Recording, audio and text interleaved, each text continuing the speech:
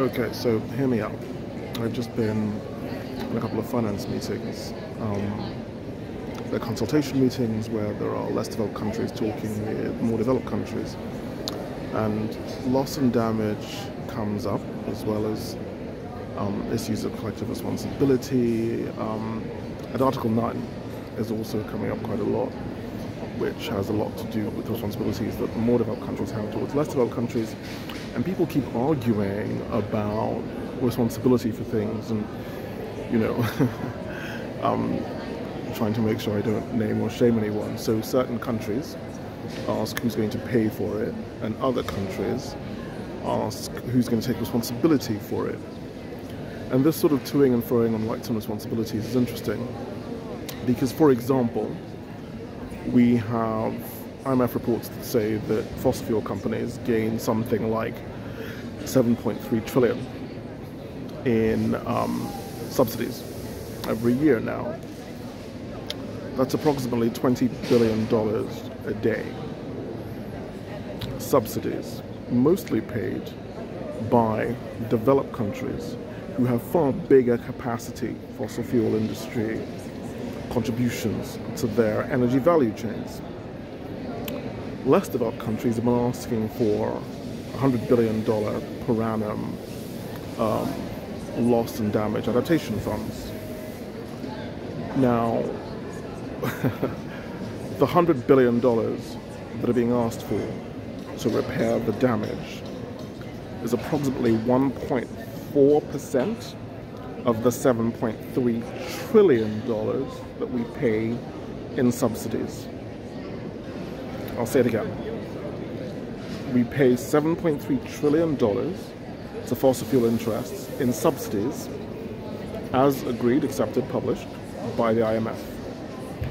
We need 100 billion for current loss and damage adaptation spend as a result, the science tells us, of fossil fuel overuse. This is 1.4-ish percent of how much we give away to the polluters.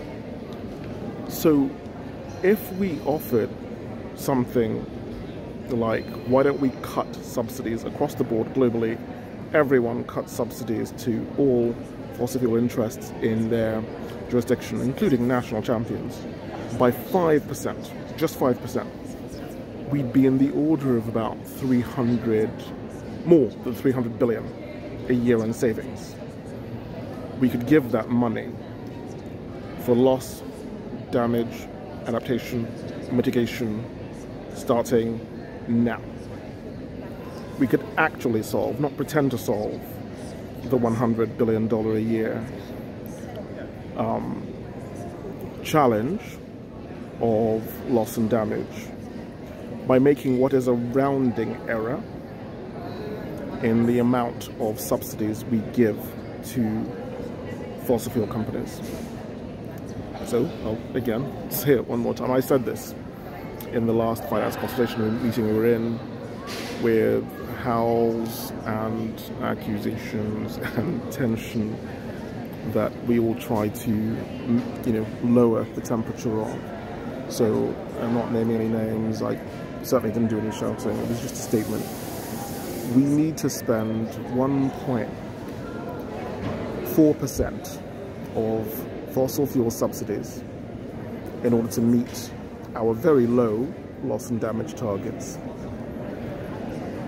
COP should, as soon as possible, with urgency, ask its members to redirect 5%, 5%, only 5% of the subsidies we give to fossil fuel companies redirect that to loss, damage, adaptation, and mitigation because it exceeds the 100 billion that we want. It's a very elegant solution. It's fiscally neutral. It's a great beginning. It moves us in the right direction. But this is a unique COP. And the sense of challenge is felt on all sides and the spirit of compromise is not cutting through. But that won't stop us. we have to keep finding ways to get things done. We have to. More from COP later.